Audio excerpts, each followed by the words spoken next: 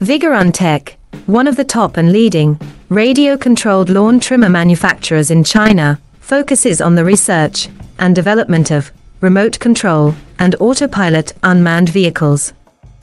Remote control lawn mower is our current main product, widely used in lawn mowing and weed cutting, suitable for orchard, steep incline, front yard, wasteland, wildfire prevention, mountain slope and so on. The wireless radio control mowing robot adopts CE and EPA approved gasoline engine, 200 meters long distance remote control, adjustable cutting height, travel speeds up to 6 kilometers per hour.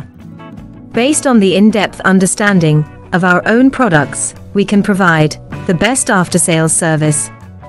We are looking for distributors and dealers all over the world. You are always welcome to contact us with